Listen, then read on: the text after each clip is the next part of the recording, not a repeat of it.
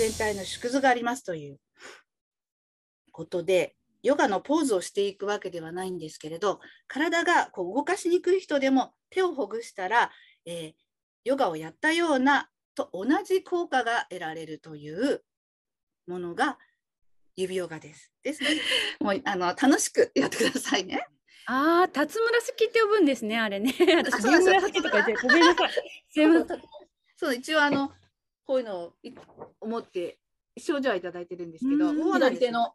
はい。これははい、小指はですね、実は、はい、はい、四つ四つ足動物と考えますと、こっちが足になるんですよね。まけども、やっぱりこの手のこのシワはあのそれぞれにエネルギーがあって、やっぱ反射区もあるんですけども、どこからどこに向かって線が出てるかっていうことで、はい、楽しかった。ありがとうございました。